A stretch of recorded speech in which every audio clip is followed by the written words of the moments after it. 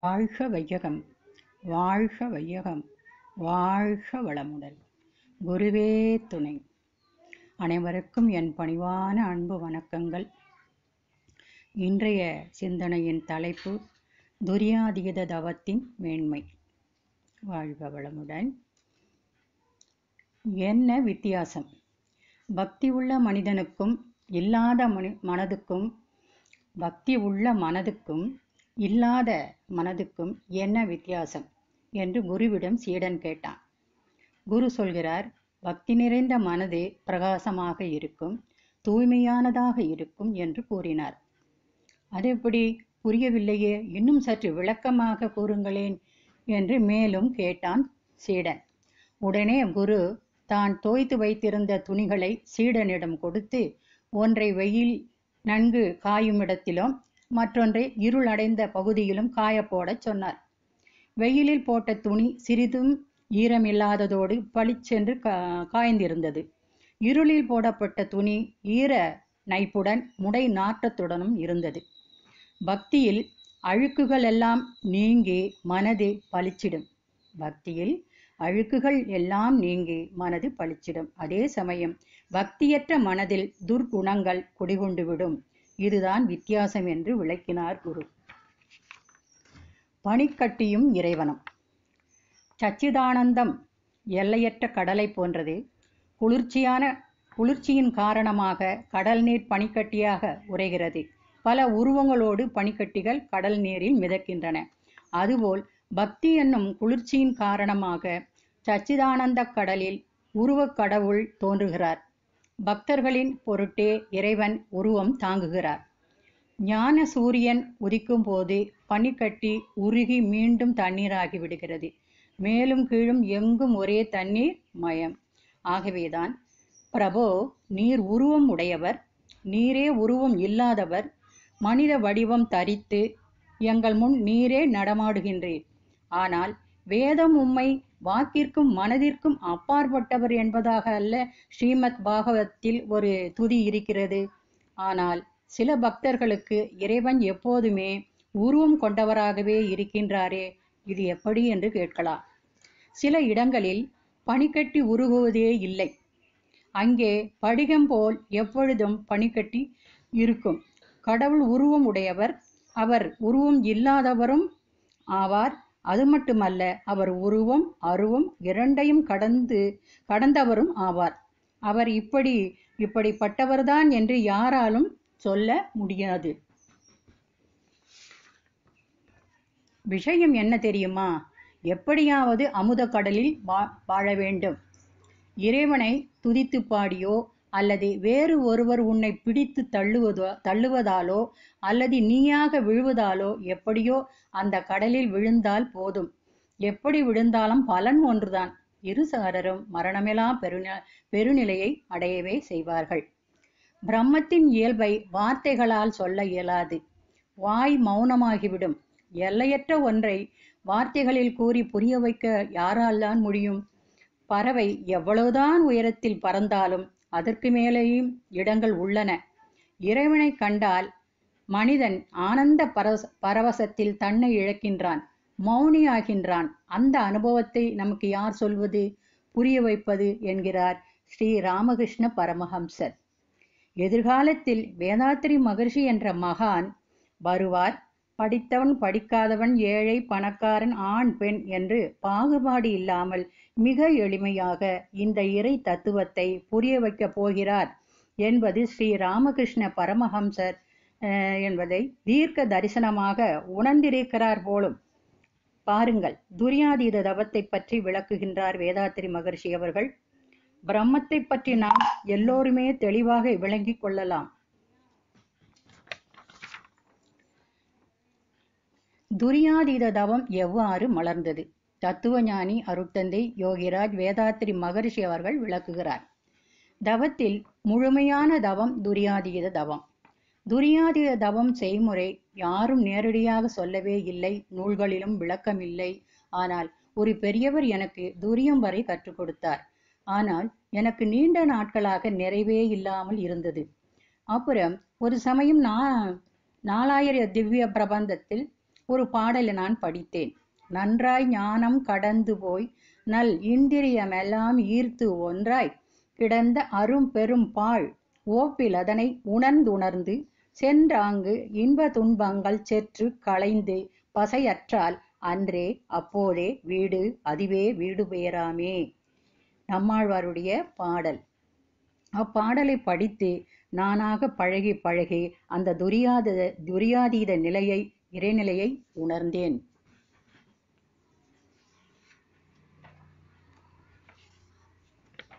பழகி அதனால் கண்ட அனுபவம் பெற்ற மகிழ்ச்சியும் மனநிறைவும் தான் மற்றவர்களுக்கு நேரடியாக சொல்லிக் கொடுக்கின்றேன். ஒரு தத்துவமோ விஞ்ஞானமோ யார் மூலமாக வெளிவந்தாலும் அது இறைவனுடைய அருள். நான் உணர நான் உணர இவ்வளவு காலம் எடுத்துக்கொண்டது போல் உங்களுக்கு காலம் தேவையில்லை. நேரடியாக இருந்து நான் உணர்த்திய பிறகு உங்களுக்கு அதிக சிரமம் சிரமமும் காலமும் தேவையில்லை. ஆனால் மற்றவற்றைப் போல் இதனை லேசாக நினைத்துவிட்டால் துரியாதீதம் ஆழமாக மனதில் வராது. பழகி பழகி சிந்தித்து சிந்தித்து நமதாக்கிக் கொள்ள வேண்டும். துரியாதீத தவத்தில் முதலில் ஆகினை பின் துரியம் மூன்றாவதாக சக்திகளம் அதாவது பிரபஞ்சகலம் இறுதியாக நான்காவது சிவகலம் சுத்தவெளி. சிவகலத்தில்தான் தூய்மையான இறைவெளியோடு அறிவு ஒன்றி கலந்து நின்று நிலைபெறும். முறையாக பயின்று தவத்தை செய்து பயன்பெறுங்கள் இந்நாட்டில் துரியாதீதம் என்ற நிலையை துரியா இந்நாட்டில் துரியாதீதம் என்ற நிலை நிலையை தத்துவத்தில் எங்கேயாகிலும் பேசியிருப்பார்களா? இதுவரையிலும் யாராகிலும் துரியாதீதம் என்ற நிலையை இந்நாட்டில் உணர்த்தி இருக்கிறார்களா விளக்கியிருக்கிறார்களா என்றால் இல்லை. அத்தகைய உண்மையை உணர்ந்த பெரியார் நம்மாழ்வார் அவர் அவர் கண்டது வைணவம்தான். அது அத்வைதம் அல்ல என்று பலர் சொல்வார்கள். சுத்த அத்வ அத்வை அத்வைதத்தை அவர் அனுபவித்து அவர் எப்படி அனுபவித்தாரோ அப்படியே பாடியிருக்கின்றார். அதனால் அது எனக்கு சான்றிதழ் கிடைத்தது மாதிரி ஆகிவிட்டது.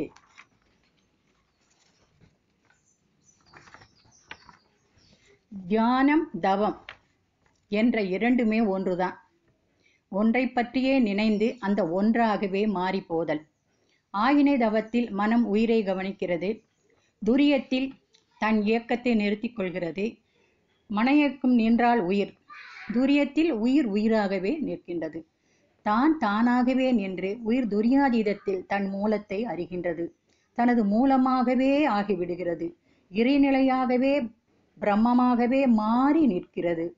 இதைத்தான் நாம் துரியாதீதம் என்கிறோம். குண்டலினி யோகத்தில் முடிவான உச்சநிலை துரியாதீதம் என்ற தவ நிலையாகும். உணர்தலும் உரைதலும் ஐம்புலன்கள் மூல் மூலமாக உணர்வது உணர்வு. அதாவது ஐம்புலன்கள் மூலமாக உணர்வது உணர்வே. இதையே ஐயுணர்வு என்று மகரிஷி கூறுகிறார். மேலும் ஆகினி தவத்தில் மனதை மனதால் உணர்கிறோம். துரியதவத்தில் உயிரில் உயிராய் ஒடுங்கி நிற்கிறோம். ஆகினை ஆகினை தீட்சை கொடுத்தவுடன் பயிற்சியாளரிடம் ஏதாவது உணர்வு தெரிகிறதா என்று கேட்கிறோம். ஆனால் உரைதல் என்பது ஒன்றாக கலந்து விடுவது தனியாக உணர முடியாது. வீட்டில் பால் தயிராக மாற பாலில் கொஞ்சம் மோர் உரை ஊற்றுகிறோம். தயிர் உறைந்து விட்டது என்றால் பாலும் அதில் ஊற்றிய மோரும் ஒன்றாக கலந்து விட்டது. பிரிக்க முடியாத அளவுக்கு இரண்டர கலந்து விட்டது என்றது பொருள். உணர்ந்ததை விளக்கலாம் உறைந்ததை விளக்க முடியுமா? உணர்ந்ததை விளக்கலாம் உணர்ந்ததை விளக்க முடியாது. உறைந்துதான் பார்க்க வேண்டும். அந்த உறையும் நிகழ்வே துரியாதீதம். துரியம் கூட்ட அதீதம் துரியாதீதம். எல்லாவற்றையும் கடந்த நிலை அதீதம். அதீதத்தில் நிலைக்கும் போது அதனோடு கலந்து கரைந்து காணாமல் போகும் நிலை உண்டாகும். அதீதத்தில் இருக்கிறது அமைதி. அதீதத்தில் இருக்கிறது அமைதி. அந்த அமைதியில்தான் அனைத்து ரகசியங்களும் அடக்கமாக இருக்கிறது. துரியாதீதமே ஜீவ பிரம்ம ஐக்கிய முக்தி. வீடு வேறு. சமாதியாகும். மனிதன் எதை நினைக்கிறானோ அதுவாகவே மாறிவிடுகின்றான். அவனது மனம் அந்த வடிவத்தை குணத்தை எடுத்துக்கொள்கிறது. பிரம்மத்தை நினைக்கும் மனமும் பிரம்மமாகவே ஆதியாகவே மாறி நிற்கிறது. சமாதி என்றால் ஆதிக்கு சமமாதல் சமம் கூட்ட ஆதி. ஆதியாகிய பிரம்மத்திற்கு சமமான நிலைக்கு மனிதன் உயர்ந்து விடுதல். துரியாதீத தவம் ஒரு மாபெரும் புதையல். இதில் எல்லாமே அடக்கம். எந்த அதிர் இயக்கத்தில் மனம் நின்றால் பிரபஞ்ச ரகசியம் எல்லாம் அறியப்படுமோ அந்த அதிர்வியக்கத்தை கொண்ட இடம்தான் சமாதி நிலையாகும். துரியாதீத தவத்தில் சமாதி நிலை அடையலாம். எந்த பொருளை வேண்டுமானாலும் எடுத்துக்கொள்ளுங்கள். பிரபஞ்சத்தில் அசையாத பொருள் இருக்குமா? பூமி அப்படியே நிற்கிறதே என்று சொல்லலாம். ஆனால் ஒரு மணிக்கு ஆயிரம் மைல் வேகத்தில் சுற்றி கொண்டே இருக்கிறது. சூரியனை ஒரு மணிக்கு பதினஞ்சு லட்சத்து ஐம்பதனாயிரம் மைல் வேகத்தில் சுற்றி வருகிறது. அது அசையாது இருக்கிறது என்று சொல்ல முடியுமா? எந்த பொருளை எடுத்தாலும் அது அசைந்து கொண்டேதான் இருக்கிறது. ஆகையால் நம் மனம் அசையாது இருக்க வேண்டும் என்று நினைக்கின்றோம். எந்த பொருளில் வைத்தால் மனம் அசையாதிருக்கும்? அசைந்து கொண்டே இருக்கக்கூடிய பொருட்களில் வைத்தால் நம் மனமும் அசைந்து கொண்டேதான் இருக்கும். மனம் அசையாது இருக்கக்கூடிய நிலையை அடைய வேண்டுமானால் எது அசையாது இருக்கிறதோ அதை பற்றி நிற்க வேண்டும். அந்த நிலை எது? அது அந்த பொருள் எது என்றால் அதுதான் முழுமுதற் பொருள் மெய்ப்பொருள் சுத்தவெளி. சிவகலம் என்பது சுத்தவெளி. இது அது கிராவிட்டி என்று ஆங்கிலத்தில் அழைக்கப்படுகிறது. சுத்தவெளியே பிரபஞ்சம் முழுவதும் வான்காந்த ஆற்றலாகவும் இந்த உடலுக்குள்ளாக ஜீவகாந்த ஆற்றலாகவும் இருந்து கொண்டு உயிர் துகள்களில் அறிவாகவும் இருக்கின்றது. சுத்தவெளியில்தான் நாம் மனதை வைத்து தவம் ஆற்றுகின்றோம். இயக்க மண்டலத்திற்கு அப்பால் எல்லையற்ற சுத்தவெளியாக இருப்பது அறிவேதான். சக்திகளம் எங்கும் நிறைந்து இருக்கிறது என்பதை உணர்ந்து கொள்ளலாம். உடலை தாண்டி மனதையும் உயிரையும் வெளியில் விருத்தி அகன்று அகன்று பிரபஞ்சத்தோடு கலப்புற்று தியானம் செய்வது சக்திகள தவமாகும். இந்த பிரபஞ்சத்தை போல் எத்தனையோ பிரப பிரபஞ்சங்கள் இருப்பதாக விஞ்ஞானிகள் கூறுகிறார்கள். அப்போ பேரியக்க பேரியக்க மண்டல தவத்தில் மனதை எந்த அளவுக்கு விரிந்து நின்று தவம் இயற்ற வேண்டும் பாருங்கள். இதையெல்லாம் நாம் நேரில் போய் பார்க்க முடியுமா? பாவனை காட்சி வடிவில் பாவனை செய்ய வேண்டும். பாவனை பாவித்தால்தான் பரமனை உணரலாம். துரியாதீத தவம் செய்வது எப்படி? நிறைய பேர் துரியதவம் நன்றாக வருகிறது. ஆனால் துரியாதீதம் செய்ய முடியவில்லை என்று ஆரம்ப நிலையில் உள்ளவர்கள் கேட்கின்றார்கள். அவர்களுக்காக இந்த பதிவு. தியானத்தில் அடிப்படை விஷயம் பாவனை. பாவனை செய்ய முடியாதவர்கள் தியானம் செய்ய முடியாது. அப்பாவனை தான் அடிப்படையான விஷயம். எங்கே மனதை பாவிக்கின்றோமோ அதுவாக மாறுகிறது. நீ எதை பாவிக்கின்றாயோ அதுவாக மாற்றம் பெறுகின்றாய். பாரதியார் பா- பாவித்தல் போதும் அந்த பரநிலையை உணர்வதற்கு பாவித்தல் போதும் அந்த பரநிலையை உணர் உணர்வதற்கு என்கின்றார். பாவனையே தியான மார்க்கம் பாவனையே பரநிலை அறியும் பாவனையே பிரபஞ்ச தோற்றம். துரியத்தில் மனம் ஒடுங்கி நிற்கிறது ஆனால் துரியாதீத தவத்தில் பா பாவித்து பாவித்து பிரமமாகவே தயாரிப்பு நடக்கிறது. சிவனை சிவனை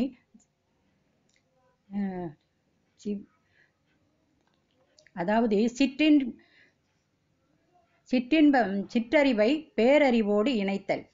பாவனை என்பது சிற்றறிவை பேரறிவோடு இணைத்தல். ஜீவனை சிவனாக்குதல். ஜீவனை சிவனாக்குதல்.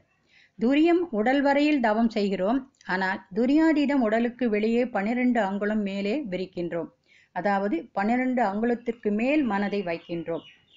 நாம் உதாரணமாக பஞ்சேந்திரிய தவத்தில் கண்கள் மீது தவம் செய்ய தொடங்கும் என்ன சொல்றாங்க? இரு கருவிழிகளையும் ஒரு கற்பனை கோட்டால் இணைத்துக் கொண்டு இரண்டு கண்மணிகள் மீது மனம் செலுத்தி தவம் சொல்றான். இங்கே நாம் இரண்டையும் இணைக்க ஒரு கற்பனை கோட்டை பாவனை செய்கிறோம். ஆனால் அந்த கற்பனை கோட்டை கோட்டையே நினைந்து கொண்டிருக்கிறோமா? இல்லை. இரு கண்களைத்தான் கவனிக்கின்றோம். அதுபோல இரு காதுகளையும் அவ்வாறே கற்பனை கோட்டால் இணைத்து உட்செவிகளை கவனிக்கின்றோம். தவம் செய்ய செய்ய மனமானது இரு கண்க கண்களாகவும் உட்செவிகளாகவும் மாறி ஒன்றி நிற்கிறது. அதே போல்தான் துவாச துவாதசாங்கத்தை உணர்வதற்கு பன்னிரண்டு அங்குலம் உள்ள ஒரு ஸ்கேல் நமக்கு தெரியும். நம் உச்சியில் ஒரு ஸ்கேல் நின்று கொண்டிருப்பதாக பாவனை. நி- நிஜ நிஜமான ஸ்கேலை நிற்க வைக்க முடியுமா? முடியாது. விழுந்து விடும் அல்லவா? பாவனை தான் கற்பனை தான் இப்போ ஸ்கேலின் ஒரு முனை தலை உச்சியை தொட்டு கொண்டிருக்கிறது. மேல் முனையில் கொண்டு மனதை வைக்க வேண்டும். வைக்க வேண்டும் என்றால் மேல் முனையை மனம் கவனிக்க வேண்டும். இப்படி திரும்ப திரும்ப கவனிக்க கவனிக்க கற்பனை ஸ்கேல் மறைந்துவிடும். இந்த நிலையே மனிதனுடைய நிலை என்னவென்றால் இந்த நிலையில் மனிதனுடைய நிலை என்னவென் மனதின் இந்த நிலையில் மனதினுடைய நிலை என்னவென்றால் தவத்தில் தவம் நடத்துபவர் துவாதசாங்கம் என்று சொன்ன உடனேயே மனம் அங்கு போய் நின்று லயமாகும். லேசாக சுழற்சி கூட தோன்றும். ஏனென்றால் மனதை பன்னிரண்டு அங்குலத்திற்கு மேல் கொண்டு வந்து பழகி வைத்து விட்டோம். இனி அது அந்த இடத்தில் போய் நிலைபெறும். அடுத்து அஹ், துரியாதீத தவத்தில் அடுத்து சந்திரன் என்று சொல்லு சொல்லும் பொழுது நாம் பௌர்ண பௌர்ணமி அன்று முழு நிலவை பார்த்திருக்கிறோம். அந்த முழு நிலவு சந்திரன் உச்சிக்கு நேரே இருப்பதாக பாவனையாக க- செய்து கவனிக்கின்றோம். இந்த ப அதாவது துவாதசாங்கத்தை அடுத்து அதை நேராக கவனிக்கணும். இப்படி பல முறை தவம் செய்ய செய்ய மனமானது சந்திரகாந்த அலையாகவே சந்திரனாகவே மாறி நயமாகி நிற்கும். அடுத்து சூரியன். நாம் மதியம் பன்னிரண்டு மணிக்கு வானத்தை அண்ணாந்து பார்த்தால் எல்லோருக்கும் அந்த அனுபவம் உண்டு. சிறு வயதில் இதையெல்லாம் நாம் செய்திருக்கிறோம். சூரியன் தலைக்கு நேராக வானத்தில் நடு உச்சியில் இருப்பதை பார்க்கலாம். கண்கள் எல்லாம் சூரிய ஒளியால் கூசும் இந்த மாதிரி சூரியனை பாவனை செய்யலாம். ஏனென்றால் நாம் பார்த்திருக்கின்றோம் பார்த்ததை தவத்தில் கற்பனையாக அதை நினைக்கலாம். இவ்வாறு சூரியனை நினைக்க நினைக்க பாவனை பண் பாவனை செய்து செய்து ஒரு கட்டத்தில் சூரியனை கவனிக்க மனம் சூரியனாகவே மாறிவிடும் மாறி நிற்கிறது. அடுத்து பேரியக்க மண்டலம். இந்த பிரபஞ்சத்தை போல் பல பிரபஞ்சங்கள் இருப்பதாக விஞ்ஞானிகள் சொல்றாங்க. மனதை எந்த அளவுக்கு விரிந்து பழகணும்? நாம் இரவில் மாடியில் சென்று நட்சத்திரங்களை அண்ணாந்து பார்க்கிறோம். இந்த நட்சத்திர தொகுதி என்பது குறிப்பிட்ட ஒரு பகுதிதான். பல கோடிக்கணக்கான நட்சத்திரங்கள் கோள்கள் பால்வெளி மண்டலங்கள் எல்லாம் பேரியக்க மண்டல தவத்தில் இருக்கிறதாக முதலில் பாவனை செய்ய வேண்டும். பாவனை செய்து மனதை எந்த அளவுக்கு விரிந்து நின்று நினைக்க முடியுமோ அந்த அளவுக்கு விரிக்கணும். இப்படி தொடர்ந்து செய்ய செய்ய ஒரு க்ஷணத்தில் அந்த பாவனையெல்லாம் நிஜமாக காட்சியாக உணர முடியும். சூரியனை மையமாக கொண்டு நாம் பாவனை செய்ய வேண்டும். அடுத்தது சுத்தவெளி. நாம் பஞ்சபூத நவகிரக தபத்தில் என்ன சொல்கிறோம்? பிரபஞ்ச களத்தை கடந்து மனதை விரிக்கின்றோம். எல்லையற்றதாக இருக்கின்ற சுத்தவெளி மெய்ப்பொருள் என் சுத்தவெளி மெய்ப்பொருள் பிரம்மம் தெய்வம். சுத்தவெளி என்பது கும்மிருட்டு. ஆதிகாலத்தில் மனிதன் குகைகளில் வாழ்ந்ததாக நாம் அறிவோம். என்னுடைய ஒரு அனுபவம். அமெரிக்காவில் பிலடெல்பியா என்ற இடத்திற்கு சென்றிருந்தோம். அங்கே குகை அனுபவத்தை பெறக்கூடிய வாய்ப்பு கிடைத்தது. குகை என்பதே சூரிய வெளிச்சம் இல்லாத இருட்டுதானே? இப்பொழுது மின்சாரத்தால் ஆங்காங்கே பல்புகள் போடப்பட்டு இருந்தது. ரொம்ப டேஞ்சரஸான ஒரு சூழல் அந்த இடம். குறுகிய பாதை குனிந்து குனிந்து தான் செல்ல வேண்டும். கொஞ்சம் கவனம் குறைந்தாலும் அங்குள்ள பாறைகளில் இ- பாறைகளில் இடிபட வேண்டியதுதான். கைடு எல்லாவற்றையும் விளக்கி கொண்டு வந்தார். இப்பொழுது நாம் மின்சார விளக்கின் ஒளியில் இந்த இடங்களை எல்லாம் பார்க்கின்றோம். சூரிய ஒளியே இல்லாமல் மனிதன் இங்கே வாழ்ந்திருக்கிறார்கள். இப்பொழுது அந்த இருள் எப்படி இருக்கும் என்பதை நீங்கள் அனுபவிக்கப் போகிறீர்கள் என்று சொல்லி உடனே விளக்குகள் எல்லாம் அணைக்கப்பட்டன.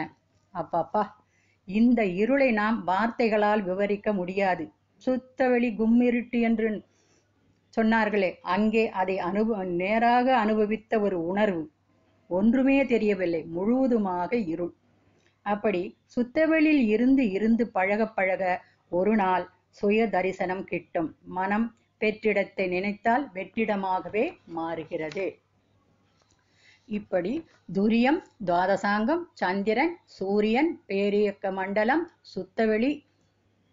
அப்போ துரியம் டு சுத்தவெளி போய் பிறகு சுத்தவெளியிலிருந்து டு துரியம் என்று அடிக்கடி துரியாதீத தவம் செய்கிறோம். அதாவது ஒரு புல்வெளி இருக்கிறது. மனிதர்கள் நடந்தால் அங்கே ஒரு பாதை உருவாகி விடுவது அல்லவா? அதுபோல மகரிஷி நமக்கு ஒரு குழந்தைக்கு சோறு ப- நிலவை காட்டு பா சா- ஒரு குழந்தைக்கு நிலவை காட்டி உணவு ஊட்டுவது போல நமக்கு கொஞ்சம் கொஞ்சமாக மெதுவாக நம்மளை துவாத துவாதசாங்கத்தில் மனதை ஆழ்த்தி சந்திரனில் ஆழ்த்தி சூரியனில் ஆழ்த்தி அதற்கப்புறம் பேரியக மண்டலத்துக்கு கூட்டி கூட்டி சென்று அங்கே இருந்து சுத்தவெளியை காட்டுகின்றார் நமக்கு. உடனே வந்து நேராக சுத்தவெளிக்கு போய் நில்லுனா நிற்குமா மனசு? நினச்சி பாருங்க. அப்போ எந்த அளவுக்கு அந்த பாதையே அந்த சு சு- இறைநிலை உணர்வதற்கான பாதையை அவர் எவ்வளோ ஒரு அழகாக சிந்தித்து அந்த துரியாதீத தவத்தை வடிவமைத்து இருக்கின்றார் பாருங்கள். தான் கண்ணதாசன் ஒரு பாடல் ஒன்றில் பாடுகின்றார். பார்க்க தெரிந்தால் பாதை தெரியும். பார்த்து நடந்தால் பயணம் தொடரும். பயணம் தொடர்ந்தால் கதவு திறக்கும். கதவு திறந்தால் காட்சி கிடைக்கும். காட்சி கிடைத்தால் கவலை தீரும். கவலை தீர்ந்தால் வாழலாம். வாழ நினைத்தால் வாழலாம். வழியாயில்லை பூமியில். ஆழக்கடலும் சோலையாகும். ஆசை இருந்தால் நீந்தி வா. அப்படி ஒரு பாடல். இங்கே பாருங்க நம்ம இது பார்க்க தெரிந்தால். என்ன? பாதை தெரியுது நமக்கு. பார்க்கணும். எப்படி பார்க்கணும்? துரியாத தவத்துல. பாவித்து பாவனை ஒன்றியதான். பாவித்து பாவித்து பார்க்க தெரியணும். தெரிந்தும் பொழுது நமக்கு பாதை தெரியுது. எப்படி போகணும்? சுத்த வெளிக்கிட்ட நம்ம எப்படி போகணும் என்ற பாதை நமக்கு தெரிகிறது. பார்த்து நடந்தால் பயணம் தொடரும். அதை அந்த மாதிரி அமைதியா இருந்து இருந்து பழகி கவனித்து கவனித்து நடந்தால் பயணம் அந்த தொடருது. பயணம் தொடர்ந்தா என்னாகும்? திரும்ப திரும்ப த- தியானத்துல நாம அந்த பயணத்தை தொடர்ந்து கொண்டிருக்கிறோம். அப்படி தொடர்ந்தால் என்ன நடக்கும்? கதவு திறக்கும். கதவு என்னன்னா அதாவது இறைநிலையின் நுழைவு வாயில். கதவு தரிசனம். கதவு திறக்கும். கதவு திறந்தால் காட்சி கிடைக்கும். இ- இறைநிலையின் சுய தரிசனம் நமக்கு உள்ளுணர்வாக நாம கிடைக்கப் பெறுகின்றோம். காட்சி கிடைத்தால் கவலை தீரும். அந்த சுய தரிசனம் நமக்கு கிடைத்ததும் என்னாகும்? அந்த விளைவறிந்த விழிப்பு நிலையின் என்ற ஒரு உணர்வு. அந்த உணர்வு நிலையில நாம் என்ன பண்ணலாம்? எண்ணத்தை ஆராய்ந்து சீர் சீர்படுத்தலாம் ஆசையை சீரமைக்கலாம் சினத்தை தவிர்க்கலாம் கவலையை ஒழிக்கலாம். இதையெல்லாம் சரியாக பண்ணிட்டோம்னா நாம் வாழலாம். எப்படி வாழலாம்? ஆனந்தமாக பேரானந்தமாக நாம் வாழ்க்கையை நடத்த முடியும். ஒரு பொருள் மிதக்கிறது என்று சொன்னால் மிதக்கும் பொருள் வலிமையானதா தாங்கும் பொருள் வலிமையானதா? தாங்கும் பொருள்தான் வலிமையானது. இங்கே சூரியன் பூமியை விட இருபது லட்சம் மடங்கு பெரியது என்கிறார்கள். பூமியும் சூரியனும் சேர்ந்து மிதந்தும் உருண்டும் இயங்குகிறது. எங்கே சுத்தவெளியில்தான்? இப்படி சுத்தவெளியே மெய்ப்பொருள் பிரமம் ஆதி அனாதி தெய்வம். ஒவ்வொரு அணுவுக்கு மத்தியிலும் இரண்டு அணுக்களுக்கும் இடையேயும் பிரபஞ்சத்தை சூழ்ந்தும் அதற்கப்பாலும் இருப்பது சுத்தவெளிதான். விஞ்ஞானிகள் பிரபஞ்சத்தை எல்லாம் கடந்தால் என்ன நிலை இருக்கிறது என்று கேட்டால் வெற்றிடம் என்கிறார்கள். அது வெற்றிடமாக எல்லாவற்றையும் அது வெற்றிடமா? எல்லாவற்றையும் தாங்கி இயக்கி கொண்டிருப்பது அதுதானே? இதை போய் ஒரு விஞ்ஞானிகள் வெற்றிடம் என்கிறார்கள். அதுதான் மகர்ஷி ஒரு பாடலில் பாடுகின்றார். வெட்டவெளி சக்தி என்பது இல்லையானால் வேறு எந்த பொருள் வலிது? பிரபஞ்சத்தில் தொட்ட தொடப்பட்ட இரு பொருட்களூடே தொட தொட்டதாய் என்னும் அருவும் யாது. பட்டபகலில் வானில் மின்மின் மின்மீன்கள் தோன்றா. பார்வையில்லார்க்கவை எந்த நாளும் காணா. எட்டவில்லை அறிவிற்கு என்றால் உள்ள இயற்கை தத்துவம் எங்கே ஒளிந்து கொள்ளும்? சித்தர்களின் சிந்தனைகள். மரத்தை மறைத்தது மாமத யானை. மரத்தின் மறைந்தது மாமத யானை. வரத்தை மறைத்தது பார்முதற் பூதம். வரத்தின் மறைந்தது பார்முதற் பூதம். திருமந்திரம். ஒரு அழகிய பொம்மை யானை பொம்மை மரத்தால் செய்யப்பட்டது. பார்க்க வெகு அழகாக நேர்த்தியாக கலைநயத்தோடு செய்யப்பட்டுள்ளது. இதை கண்ணுறும் நம் நம்மை போன்றோர் யானை அழகாக உள்ளது. கால்கள் அழகு தந்தம் அழகு காது அழகு தும்பிக்கை அழகு என்று பலவாறாக யானையின் அழகை ரசிக்கின்றனர். மரவேலை செய்யும் ஆசாரி ஒருவர் அந்த யானை பொம்மையை காணுகிறார். அவர் ஆஹா இது அற்புதமான பர்மா தேக்கு ஆச்சே கிடைத்தற்கரிய சந்தன மரமாச்சே என்று வியக்கின்றார். இங்கே நாம் அறிய வேண்டியது யாதெனில் முதலில் பார்த்தவர்கள் யானையை ரசித்தனர் அவர்களுக்கு மரம் தெரியவில்லை. இரண்டாவது பார்த்தவருக்கு யானை தெரியவில்லை. அவரது பார்வையில் மரம் மட்டுமே தெரிந்தது. யானையை பார்க்கும் பொழுது மரம் மறைந்துவிட்டது. மரத்தை பார்க்கும் பொழுது யானை மறைந்துவிட்டது. இதுபோன்றே துரியாதீத தவம் செய்யும் பொழுது பேரேக்க மண்டலத்தில் இருக்கும் போதும் வரமாகிய வெளி தெரியவில்லை. சுத்த வெளிக்கு சென்ற பொழுது பேரியக்க மண்டலம் தெரியவில்லை. பேரியக்க மண்டலம் சுத்த வெளியை மறைத்தது. சுத்த வெளி பேரியக்க மண்டலத்தை மறைத்தது. பூஜ்யரும் பூஜ்யமும். பூஜ்யம் முழு எண் ஒன்று இருக்குமானால் அதுதான் பூஜ்ஜியம் ஏனென்றால் மற்ற எண்கள் எல்லாம் ஒரு பக்கம் ஆரம்பிக்கும் ஒரு பக்கம் முடியும். உருவும் கோணல் மாணலாக இருக்கும். ஒன்று என்ற எண்ணை எடுத்துக்கொண்டோமானால் அதற்கு மேல்முனை கீழ்முனை என்று இரண்டு இருக்கின்றன. இரண்டு என்ற எண்ணை எடுத்துக்கொண்டால் முன்முனை இருக்கிறது பின்முனை இருக்கிறது மற்ற இந்த பக்கம் அந்த பக்கம் வளைகின்றன. மூன்று நான்கு ஐந்து ஆறு ஏழு எட்டு ஒன்பது என்று எல்லா எண்களும் கோணல் மாணலாக இருக்கின்றன. ஆனால் பூஜ்ஜியத்தை எடுத்து பாருங்கள். அது எங்கே தொடங்குகிறதோ அங்கே போய்தான் முடிகிறது. பூஜ்ஜியம்தான் முழுமையான எண். மற்ற எண்களுக்கு மதிப்பு வைத்திருக்கிறோம். பூஜ்ஜியத்திற்கு மதிப்பு ஒன்றுமில்லை என்று நினைக்கின்றோம். ஆனால் அதுவா ஒன்றுமில்லை? ஒன்று என்ற எண்ணை எடுத்துக்கொள்ளுங்கள் பூஜ்ஜியத்திற்கு பின்னால் இந்த ஒன்றை வையுங்கள். இப்பொழுது அதன் மதிப்பு பூஜ்ஜியமோ ஒன்றுமில்லை. ஒன்றுமில்லாததை மதித்து அதற்கு பின்னால் ஒன்றை வைத்தால் அதன் மதிப்பு பத்தாகிவிட்டது. பூஜ்ஜியத்திற்கு ஒன்றுமே இல்லாத பொழுது பூஜ்ஜியத்தை அலட்சியப்படுத்தி ஒன்றை முன்னால் போட்டால் ஒன்றின் மதிப்பு பத்தில் ஒன்று ஆகிவிடுகிறது.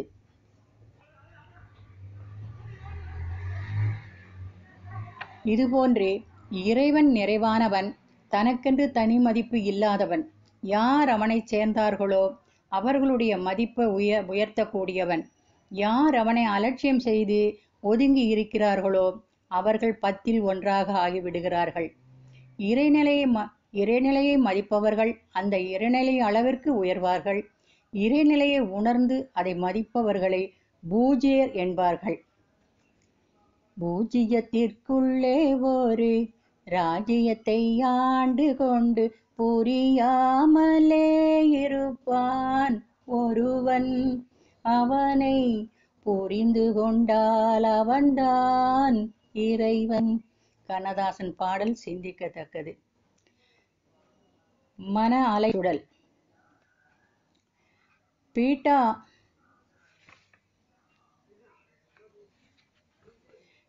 மன அலைச்சுழல் ஒன்று பீட்டா அலை இது நாற்பதிலிருந்து பதினாலு சுற்றுகள் வினாடிக்கு இயங்குகிறது.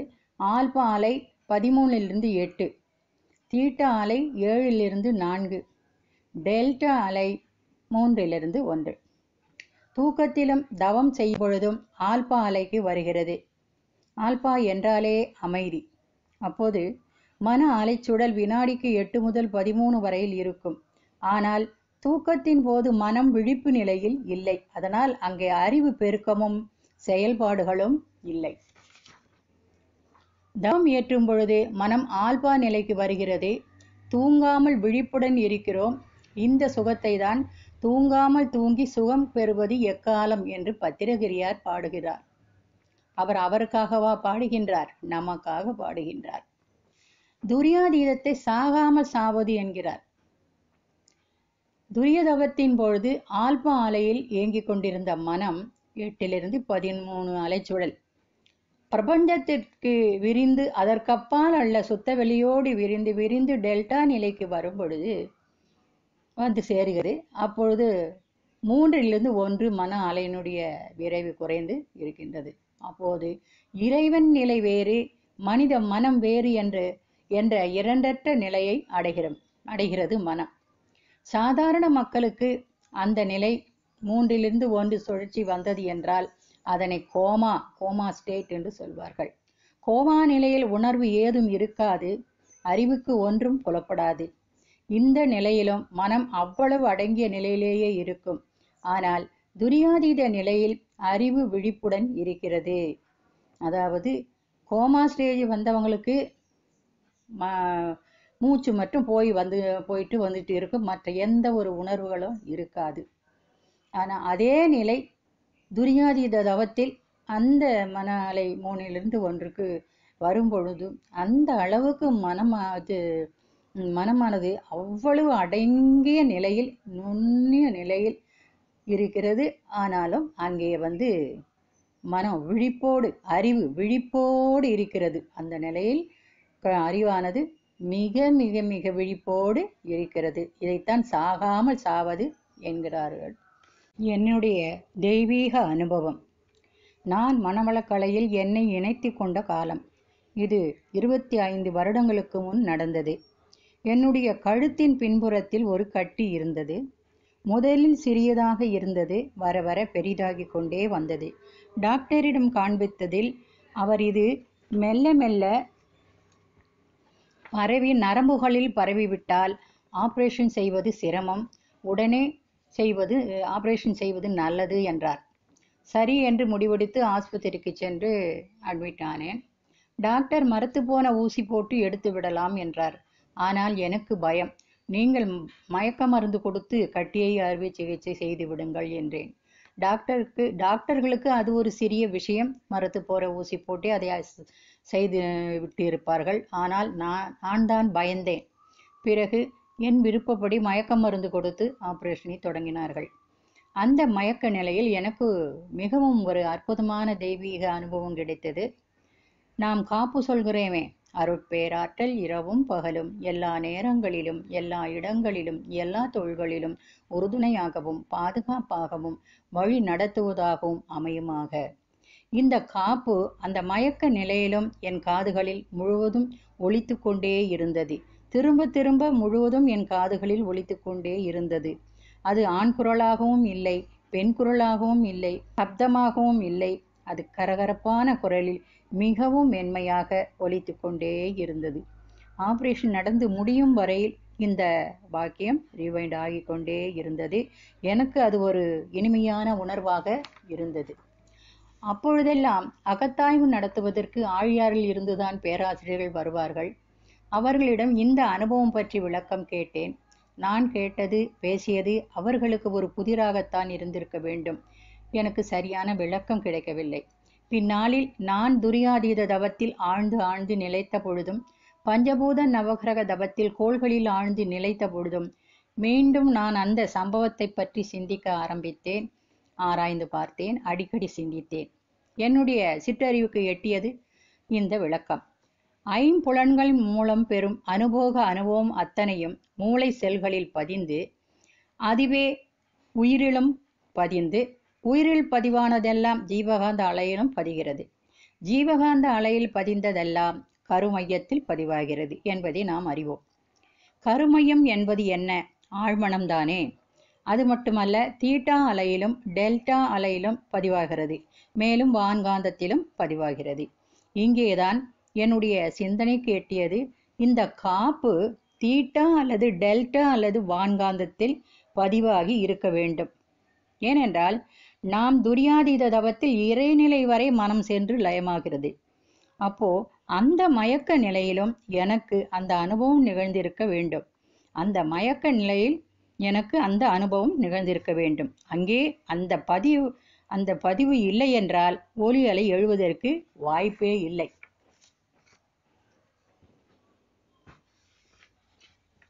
ஆக காப்பு அங்கே பதிவாகி இருக்கிறது.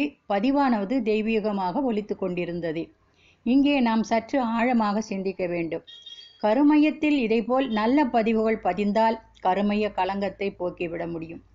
கருமைய கருமைய கலங்கத்தை தூய்மை செய்வதற்கு தானே மனவளக்கலையே பயிற்சிகளும் விளக்கங்களும் அருட்தந்தை அவர்களால் கொடுக்கப்பட்டிருக்கிறது.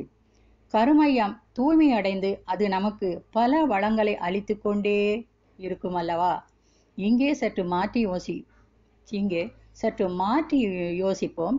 சப்போஸ் தவறான பதிவுகள் அங்கே பதிவானால் அதாவது ஆழ்மனத்தில் அது என்ன விளைவை கொடுக்கும்? சிந்திப்போம். எண்ணம் சொல் செயலில் எவ்வளவு எச்சரிக்கையுடன் இருக்க வேண்டி இருக்கிறது? இருக்க வேண்டும். மாணிக்க வாசக பெருமான் கோருகிறார் நான் சேர்த்து வைத்த ம சேர்த்து வைத்த மண்டைக்குள் திணித்து வைத்த குப்பையும் கூளமும் கொஞ்சமா? என்ன? வண்டி வண்டியாய்? என்று கூட சொல்லக்கூடாது. மலை மலையானது என்றுதான் சொல்ல வேண்டும். அவ்வளவும் மக்கி மடிந்து அறிவையே மூடிவிட்டது. வேர் போட்டே படர்ந்து விட்டது. ஒரே நாளில் அவ்வளவையும் பிடுங்கி எரிந்துவிட முடியுமா? துடைத்து துப்புரவாக்க முடியுமா? கருணையான பெருமான் பொறுமையாக இருந்து சுத்தப்படுத்துகிறான். கொஞ்சம் கொஞ்சமாக என்னை மனுஷனாக்குகிறான். யோசித்து யோசித்து அதன் மூலம் பெறும் அனுபவங்களை இறை அருள் என்றே பாவிக்கின்றார். இறைவன் வந்துதான் கொஞ்சம் கொஞ்சமாக மெல்ல மெல்ல அதாவது வர வர என் மயக்கங்களை ஒவ்வொன்றாக அறுத்தெறுகின்றான் என்கிறார். எடுத்த எடுப்பிலேயே யோசித்த உடனேயே எதிரில் வந்து நின்று விடாது உண்மை பேருண்மை. யோசனை மேலே மேலே போக போகத்தான் இருட்டு விலகும். அறியாமை கலையும் மூட நம்பிக்கைகள் கழலும் ஐயப்பாடுகள் நீங்கும். இவ்வளவும் எடுத்த எடுப்பில் யோசித்த மாத்திரத்தில் வரவேண்டும் என்றால் அதற்கு வாய்ப்பே இல்லை. மாணிக்க வாசகர் முதலிய ஞானிகள் கண்ட அனுபவம் இது. அவர்களுக்கே நிலைமை இப்படித்தான் என்றால் நம்மை போன்றவர்களுக்கு அது பற்றி சொல்லவா வேண்டும்? அப்ப நாம் எவ்வளவு தவம் செய்ய வேண்டும் தச்சோதனை பண்ண வேண்டும் மௌன நோன்பு இயற்ற வேண்டும். இறைநிலையோடன்னத்தை கலக்க விட்டு ஏற்படுமோர் அமைதியிலே விழிப்பாய் நிற்க இறைநிலையோடன்னத்தை கலக்க விட்டு ஏற்படுமோர் அமைதியிலே விழிப்பாய் நிற்க நிறைநிலையே தானாக உணர்வதாகும். நித்தம் நித்தம் உயிர் உடலில் இயங்கு மட்டும் உறைந்துரைந்து இந்நிலையில் பழகி கொள்ள உலக இன்பங்களிலே அளவு கிட்டும். கரை நீங்கி அறிவு மெய்பொருளாய் நிற்கும். கரை நீங்கி அறிவு மெய்ப்பொருளாய் நிற்கும் கரைந்து போம் தன் முனைப்பு காணும் தெய்வம்.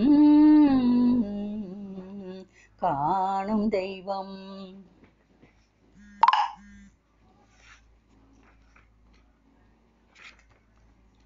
கரைகள் என்பது என்ன? ஆணவம் கண்மம் மாயை. இனி அருட்தந்தை அவர்கள் ஆறு குணங்களாக விளக்குகிறார். பேராசை சினம் கடும்பற்று முறையற்ற பால் கவர்ச்சி உயர்வு தாழ்வு மனப்பான்மை வஞ்சம். தீ பீட்டா அலையிலிருந்து அதாவது பதினாலிலிருந்து நாற்பது என்பது உணர்ச்சி வயப்பட்ட எமோஷனல் நிலையிலிருந்து மனதை ஆல்பா தீட்டா டெல்டா நிலைக்கு கொண்டு வந்து நிலைநிறுத்த பழகி கொண்டால் தவம் செய்து செய்து உறைந்து உறைந்து இந்நிலையில் பழகி கொண்டால் என்ன நடக்கும்? அரு குணங்களையும் கலைந்து விடலாம். கரை நீங்கி அறிவு மெய்ப்பொருளாய் நிற்கும். கரைந்து போம் தன்முனைப்பு காணும் தெய்வம். காட் கூட்டல் contamination equal man man minus contamination equal God நாம் எல்லோரும் ஒரே மூலத்தில் இருந்துதான் வந்தோம். இடையில் பிறவி என்ற நிலையில் கொஞ்சம் களங்கங்களை சுமந்து வந்துவிட்டோம். அந்த களங்கங்களை களைந்துவிட்ட நிலையில் நாம் எல்லோருமே இறைவன்தான். தெய்வங்கள்தான். கரைகள் நீங்கிய அறிவு மெய்ப்பொருள். கரைகள் நீங்கிய அறிவு மெய்ப்பொருள். இதைத்தான் மனிதனும் தெய்வமாகலாம் என்றார்கள் ஞானிகள். வாழ்வினுடைய நோக்கம் அதாவது பிறவினுடைய நோக்கம் தவம் செய்து அறிவாட்சி தரத்தில் உயர்ந்து இறைநிலை உணர்வு பெறுவதுதானே. இதைத்தானே வீடு பேறு அறிவின் முழுமை பேறு பேரின்பம் பேரானந்தம் என்றெல்லாம் மகான்கள் ஞானிகள் கூறுகின்றார்கள். அறிவாட்சி தரத்தில் உயர்வோம். துரியாதீத தவம் என்பது அன்னமய கோஷத்திலிருந்து ஆனந்தமய கோஷத்திற்கு இட்டுச் செல்வதாகும். அந்த தவத்தை செய்வோம் பேரின்பத்தில் திளைப்போம்.